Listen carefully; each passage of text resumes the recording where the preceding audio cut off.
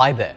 Searching for steps to enable recover unsaved versions in Microsoft Office Excel 2010 in your Windows XP based PC?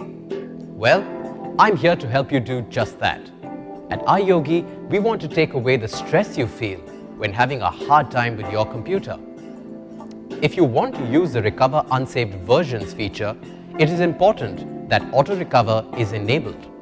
Also, this particular feature is available only in Word 2010, Excel 2010 and PowerPoint 2010. So, here's how you can enable Recover Unsaved Versions in Microsoft Office Excel 2010 in your computer.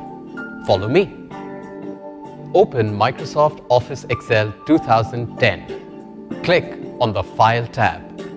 Under Help, click on Options. Click Save. Select the Keep the last auto-saved version if I close without saving checkbox and then click OK. So, you see, by following these steps, you can enable Recover Unsaved versions in Microsoft Office Excel 2010 in your computer running on Windows XP operating system with complete ease. Don't you just love technology? At iYogi, we're always here to help you get more out of your PC, along with its related software and programs. If you have questions on antivirus, security, protection, or on how to work your other devices with your PC, such as syncing your printer, MP3 player, camera or router, etc., just give us a call. We'd be delighted to help.